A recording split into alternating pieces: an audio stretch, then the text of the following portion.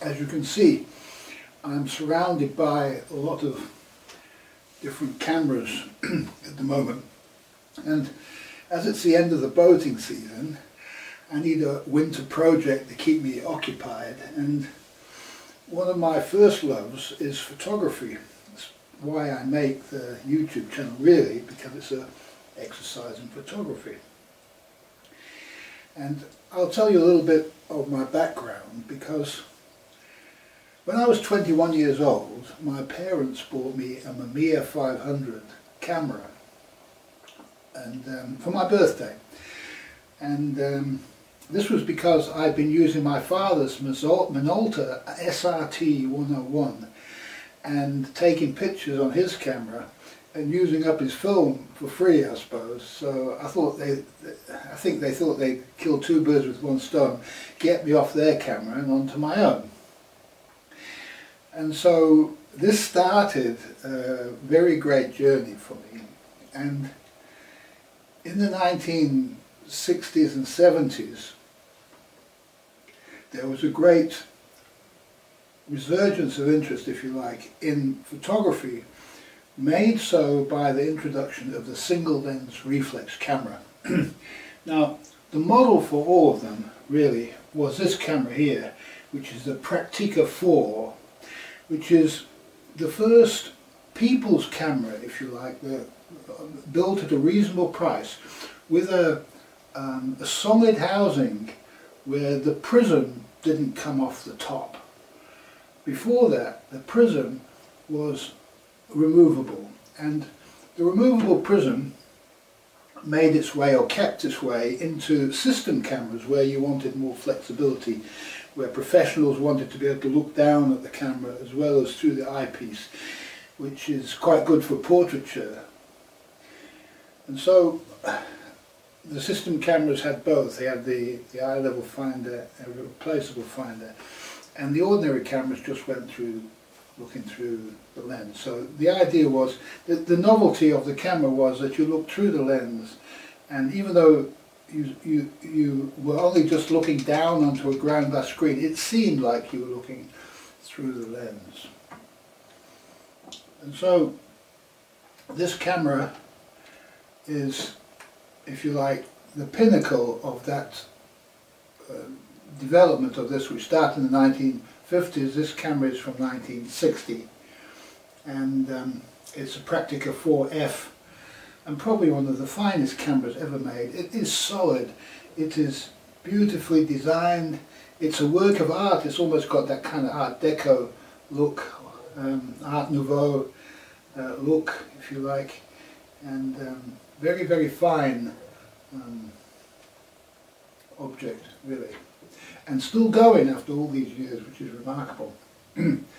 now when I started this journey, I didn't know that I was going to do this uh, documentary really when I acquired this camera because I just somehow was interested in these older German cameras. I have one in Germany and I wanted to see one again and so I got this thing on eBay and the wonderful thing about eBay is you can pick up this sort of stuff for next to nothing and uh, it's such fine quality articles.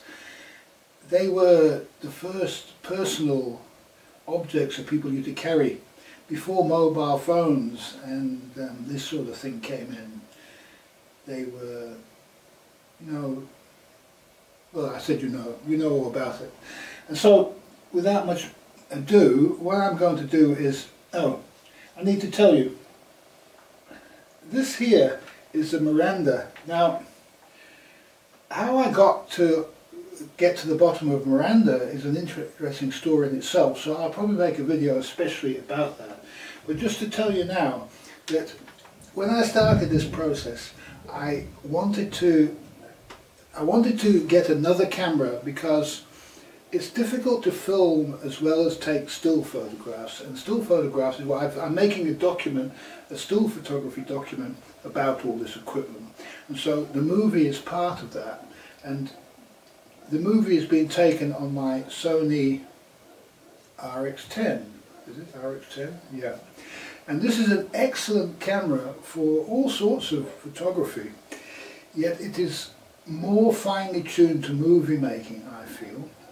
And so I'm going to use, see the dog, the dog's barking, because although it's 20 odd megapixels, it doesn't take as fine a photograph, really, if you examine the detail, as the Olympus. Okay. Now, I did have an Olympus EP1 at one point, and so I thought, well, let me get another Olympus. And I had a look at what was available. And the cheapest option um, to, to buy an Olympus camera um, that can do everything you need to do. This is the, uh, the Olympus EPL1. Now you can buy the body only for about 50 pounds. 50 pounds is about the bottom of the line. The lenses are removable and so what this does is, this can take all of, you see those lenses over there, this can take all of the old lenses that we used to use on the single lens reflex 35 millimeter. But when you put the lens onto here, if it's a 50 millimeter, it becomes a 100 millimeter. So it's good for portraiture and that kind of thing. And the actual lens that came with this camera is so good uh, you're going to see photographs from this from time to time in my videos because I'm going to show movie of me talking and showing you stuff and I'm also going to show you the pictures that can be taken with this equipment. And so this camera, I say, the camera body is normally goes for about 50, but I bought it with the lens. This is a standard lens, and the standard lens is 14 to 42 millimeters, which makes it 28 to 84 millimeters which is a wonderful range of, of uh, lens, lenses, and it doesn't matter whether you use it wide or telephoto or whatever, it's sharp, as it's absolutely a great lens. Uh, it, it, beats, hands down, any of these older lenses I feel.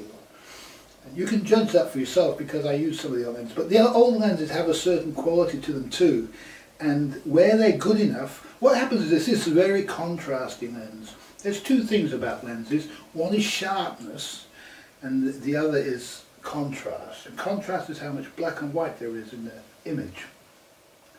And so this is a very contrasting lens and the Carl Zeiss lenses were also regarded as, as, a, as, a, nice contrasting lens. But what can happen is with the older lenses they can have a little bit of dust and maybe a bit of fungus if you don't really want that in it, but you can have a bit of that in it. And this can reduce the contrast. It doesn't so much change the sharpness of the lens, it's just a contrast. And also if you point the camera into the light, this can also um, um, make it very, make ruin the contrast and that's why you have the super multi-coated lenses and that kind of thing because they're designed to keep the contrast even when you're pointing into the sun. So there's a few things I'm talking about here, but I think it's just the basis for a journey into photography because photography is the most well common, I to use the word common, but it's the most widely, um, it's the hobby that is most widely pursued by the population. All over the world photography is the most common hobby that people have. And you can do so much with a phone, and people say, well, phones, nothing better than a phone anymore. It's not true. There's things that you can do with a camera. A camera's really designed to, to do its job.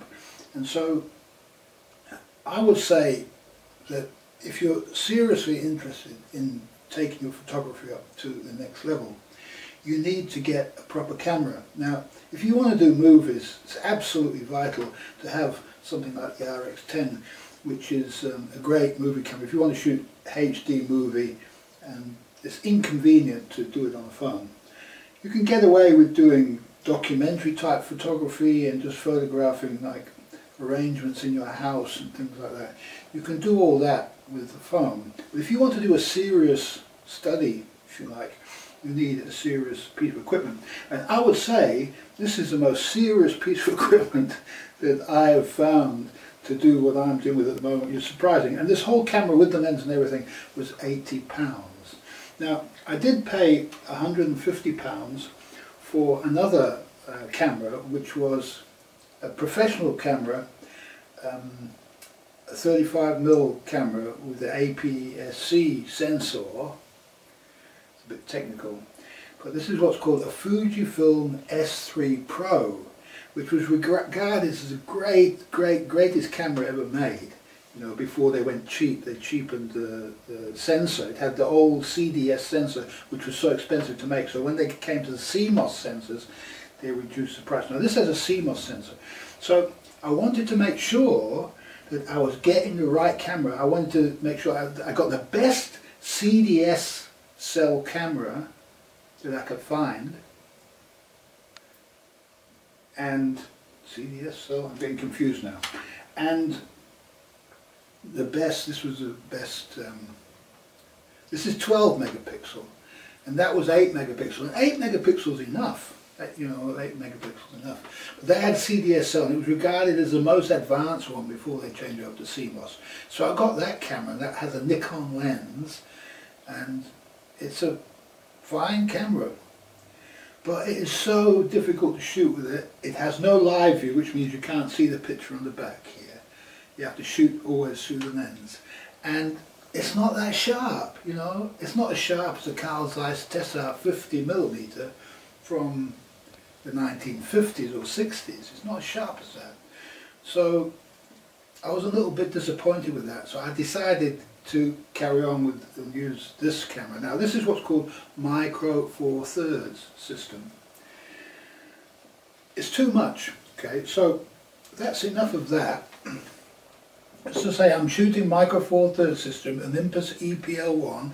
It's the best camera that you can find for do this, do this at the lowest price. I'm very, very happy using it. It does everything that I want to do. It's got no downside to it at all. The only downside to it is that you can't get into the battery compartment to get the card out and the battery out whilst you've got it on the tripod, but you've got the thing bolted to the bottom here. That's the only downside to it. But other than that, I'm getting used to putting it off and on quite quickly now, but it is a nuisance. Okay, and so I'll be talking about this camera, which is the greatest thing that ever came out of Japan and um, the Japanese invasion, the takeover of Germany by the Allies, the Allied Impex Corporation that stole Miranda, destroyed Miranda, the greatest camera in, ever made in Japan, and the attempt to steal and prevent the East Germans from making their cameras, which is all of the original cameras. These are all East German cameras. There's no real camera industry in West Germany.